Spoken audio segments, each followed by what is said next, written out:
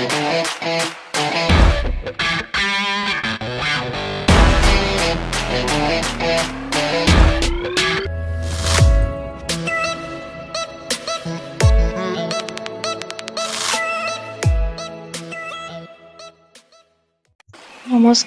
জোনাকৰ মজিয়ালৈ আপোনালোকক স্বাগতম।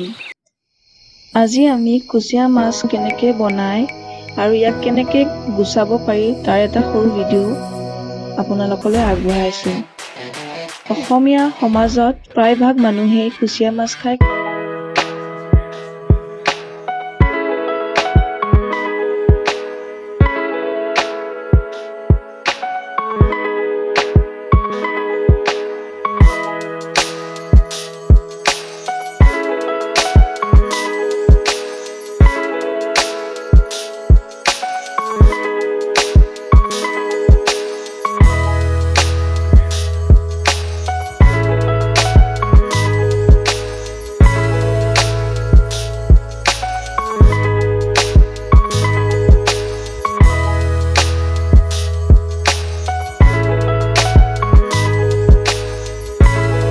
কুচিয়া মাছৰ মূৰৰ ছাইডত আমি ব্লেড এখনেৰে কাটিব লাগে।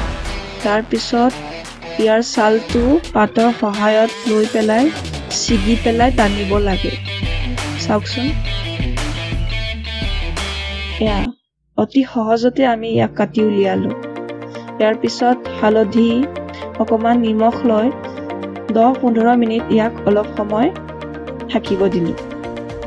আদা নহৰু এইবিলাক কাটি বিলাহী তাৰপিছত মানিমুনি পাত আলু পিঁয়াজ এইবিলাক কাটি আমি বনাবলৈ আৰম্ভ কৰিলোঁ। ইয়াৰ প্ৰথমতে আমি অকণমান তেল দিলোঁ। কেৰাহী কেৰাহীটো গৰম হোৱাৰ পিছত আমি আলুখিনি অকণমান ৰঙচুৱাকৈ ভাজিলোঁ। তাৰপিছত আলুখিনি ভজাৰ পিছত আমি ইয়াত পিঁয়াজ তাৰপিছত তেজপাত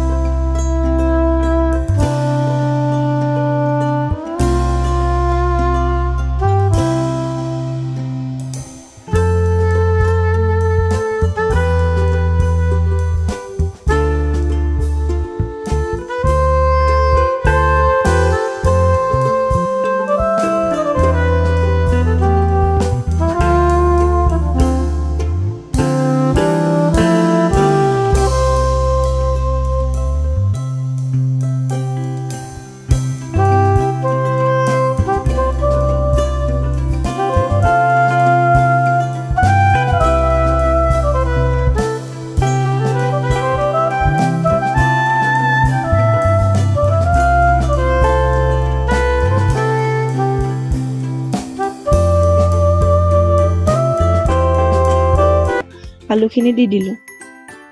চাওকচোন। দেখিবলৈ ইমান ধুনীয়া লাগিছে। অলপ দেৰি এনেকৈ ভজা হোৱাৰ পিছত আমি ইয়াত পানী দিলোঁ। পানীখিনি আপোনালোকে জোখমতে দি দিব।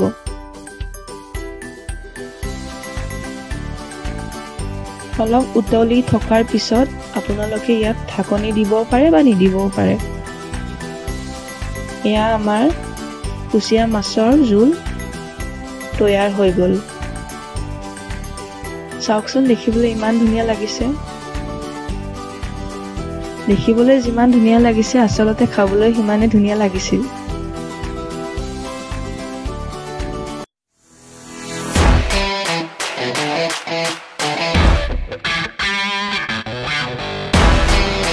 ভিডিঅ'টো ভাল পালে আপোনালোকে লাইক আৰু কমেণ্ট কৰিব দেই। আৰু এনেকুৱাকৈ কুচিয়া মাছৰ জোল বনাই আমাকো খাবলৈ মাতিব কেতিয়াবা। ধন্যবাদ।